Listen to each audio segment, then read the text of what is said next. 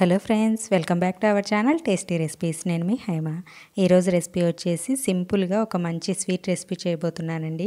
ఈ దివాళీకి ఇలా ట్రై చేయండి చాలా బాగుంటుంది.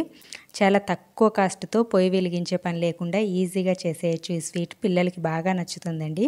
చాలా ఈజీగా చాలా టేస్టీగా తయారు చేయొచ్చు. ఇప్పుడు తయారీ విధానం ఎలాగో చూసేద్దాం.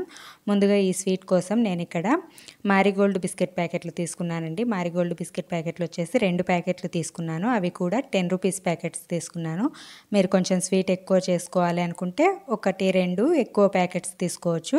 ఇక్కడ నేను టెన్ రూపీస్ ప్యాకెట్స్ రెండు తీసుకున్నాను. రెండు తీసుకొని వాటిని కట్ చేసి బిస్కెట్లన్నీ ఇలా పక్కకు తీసి పక్కన పెట్టేసుకోవాలి. ఇప్పుడు ఈ బిస్కెట్లని కొంచెం ముక్కల్లాగా చేసేసి మిక్సీ జార్లో వేసుకోవాలి. చిన్న చిన్న ముక్కల్లాగా చేసి ఒక్కొక్క బిస్కెట్ని ఇలా కొంచెం ముక్కల్లాగా చేసేసి మిక్సీ జార్లో వేసుకొని గ్రైండ్ చేసుకోవాలి. మెత్తటి పౌడర్ లాగా గ్రైండ్ చేసుకోవాలి. ఇక్కడ కొంచెం చప్పగా ఉంటాయి కదండి బిస్కెట్స్. అది కూడా మనం పాలు వేసుకుంటాం. అందుకోసం అనేసి ఒక రెండు టేబుల్ స్పూన్లు చక్కెర వేసుకుంటున్నాను. మీరు తీపి ఎంత అవసరమో అంత వేసుకోవచ్చు.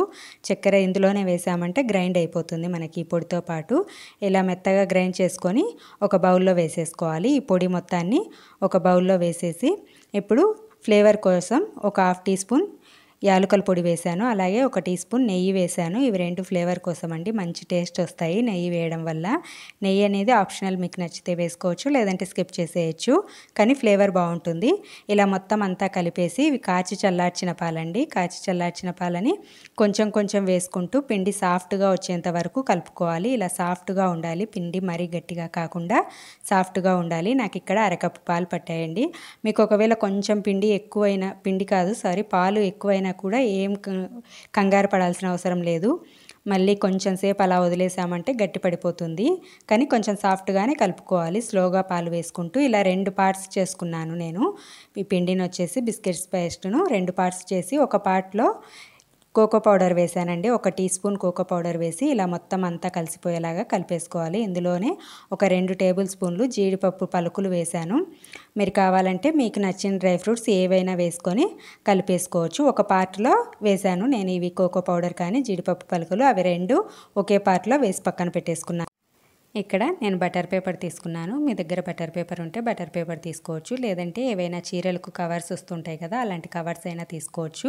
కవర్ కానీ బటర్ పేపర్ కానీ తీసుకొని ఇలా కొంచెం నెయ్యి అప్లై చేసి ముందుగా మనం చేసి పెట్టుకున్నాం కదా కోకో పౌడర్ వేసి చేసి పెట్టుకున్న పేస్ట్ని ఇలాగ పొడవుగా చేసి పక్కన పెట్టేసుకోవాలి. ముందుగా ఇలా చేతులతోటి చుట్టూరా తిప్పుతూ ఉన్నామంటే మనకి ఇలా పొడవుగా వస్తుంది షేప్ అనేది. ఇలా చేసి మొత్తం అంతా బటర్ పేపర్తో సహా ఇలా చుట్టేసుకోవాలి. ఇలా చుట్టేసుకొని దీన్ని ఫ్రిడ్జ్లో పెట్టేస్తున్నానండి. ఒక పది నిమిషాల సేపు మనం ఇంకో పార్ట్ చేసే వరకు దీన్ని ఫ్రిడ్జ్లో పెట్టేస్తున్నాను.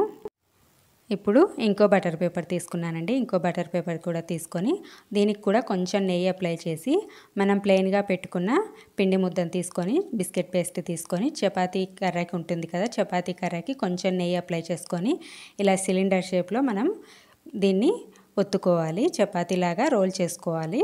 ఇలా మనకి ఈజీగానే వచ్చేస్తుందండి. ఎక్కువ శ్రమ పడాల్సిన అవసరం కూడా లేదు. మనం ఎలా చేస్తే చాలు అలా సాగినట్లుగా బాగా ఈజీగానే వస్తుంది షేప్ అనేది. ఎలా చేసుకోవాలంటే ఆ షేప్లో వస్తుంది. ఇలా షేప్ అనేది ఇలా సిలిండర్ షేప్లో చేసి పెట్టేసుకోవాలి. ఇలా పెట్టుకున్న తర్వాత ముందుగా చేసి ఫ్రిడ్జ్లో పెట్టుకున్న కోకో పౌడర్ పేస్ట్ ఉంది కదా దీన్ని తీసుకొచ్చి ఇందులో పెట్టేసేయాలి. మనం కొంచెం స్లోగా పెట్టుకోవాలి. ఎందుకంటే విరిగిపోయే ఛాన్స్ ఉంటుంది. ఎలా పడితే అలా పెట్టేస్తే విరిగిపోతుంది. అందుకోసం అనేసి కొంచెం స్లోగా జరుపుకుంటూ ఉండాలి. మందంగా ఉంది కాబట్టి. నాకు ఇక్కడ కొంచెం ఎక్స్ట్రా వస్తున్నట్లు ఉంటే కొంచెం కట్ చేస్తున్నానండి. కట్ చేస్తే కట్ చేయొచ్చు. లేదంటే ఎక్స్ట్రా కూడా అలాగే చుట్టేసేయచ్చు. ఏం కాదు. ఒక సైడ్ మాత్రం కొంచెం డబల్ లాగా వస్తుంది అంతే అంతే తప్ప వేరే ఏముండదు ఇక్కడ మొత్తం అంతా ఇలా చుట్టేసుకోవాలి. బటర్ పేపర్తో సహా ఇలా చుట్టుకున్నాము అంటే మొత్తం అంతా కవర్ అయిపోతుంది. నాకు ఇక్కడ కొంచెం చివర్లకు అనేది కొంచెం అడ్జస్ట్ లాగా మిగిలింది కదా. ఈ మిగిలిన పార్ట్కి నేను ఇందాక కట్ చేసి పెట్టాను కదా. ఆ పిండి మిగిలిన పిండితో ఇలా కవర్ చేస్తున్నాను. ఈ పిండి అనేది ఎలా అతికిస్తే చాలు అలా అతుక్కుపోతుందండి. చాలా ఈజీగా మనకి కవర్ అయిపోతుంది. కొంచెం చేతులతో ఇలా అటు ఇటు అన్నామంటే మనకి ఎక్కడ కూడా అతుకుల్లాగా లేకుండా మొత్తం అంతా కవర్ అయిపోతుంది. చాలా స్మూత్గా వచ్చినట్లుగా వస్తుంది. నేను ఈ చివర్లకు కూడా జస్ట్ అనేది కవర్ చేసేస్తున్నాను. ఇలా మొత్తం అంతా చేసేసి ఇలాగే బటర్ పేపర్తో రోల్ చేసి పక్కన పెట్టేసుకోవాలి. ఇక్కడ నేను నువ్వులు వేస్తున్నానండి. నువ్వులు అనేది ఆప్షనల్. జస్ట్ ఇలాగ ముద్దలాగా చేసినది కూడా తినేసేయచ్చు. ఇవి వేయించిన నువ్వులు అండి వేయించి పెట్టుకున్నాను నువ్వుల్ని. ఇలా చల్లేసి రోల్ చేసాము అంటే మనం అటు ఇటు మొత్తం అంతా నువ్వులంతా అతుక్కుపోతాయి. ఇలా అతుక్కున్న తర్వాత మొత్తం నువ్వులన్నీ అతికించిన తర్వాత ఇలా చుట్టేసేయాలి. బట్టర్ పేపర్తో సహా ఇలా చుట్టేసి మనం ఒక గంట పాటు ఫ్రిడ్జ్లో పెట్టుకోవాలి. ఫ్రిడ్జ్లో కానీ ఫ్రీజర్లో కానీ పెట్టేసామంటే బాగా గట్టిగా సెట్ అయిపోతుంది. నేను ఇక్కడ గంట సేపు ఫ్రిడ్జ్లో పెట్టానండి. గంట సేపు ఫ్రిడ్జ్లో పెట్టిన తర్వాత తీసాను ఇలా ఫ్రిడ్జ్ నుంచి బయటికి తీసిన తర్వాత మనం కొంచెం నైఫ్కి ఇలా నెయ్యి కానీ ఆయిల్ కానీ అప్లై చేసేసి మనకి ఏ సైజులో కావాలంటే ఆ సైజులో పీసెస్ లాగా కట్ చేసుకోవడమే. కొంచెం ఒక ఇంచు మందం ఉంచేసి సైజులో పెట్టేసి మనం పీసెస్ లాగా ఇలా కట్ చేసుకున్నాము అంటే చాలా పిల్లలకి చాలా ఇష్టమైన స్వీట్ రెసిపీ రెడీ అయిపోతుందండి. బిస్కెట్స్ అంటే పిల్లలకి చాలా ఇష్టం కదా. అలా బిస్కెట్స్ మనకి ఇంట్లో మిగిలిపోతూ కూడా ఉంటాయి. అలాంటి బిస్కెట్స్తో ఇలా స్వీట్ చేసి పెట్టామంటే పిల్లలు ఇష్టంగా తింటారు. ఈ దివాళీకి ఇలా సింపుల్గా ట్రై చేయండి. తక్కువ కాస్ట్తో స్వీట్ రెసిపీ అయితే తయారైపోతుంది.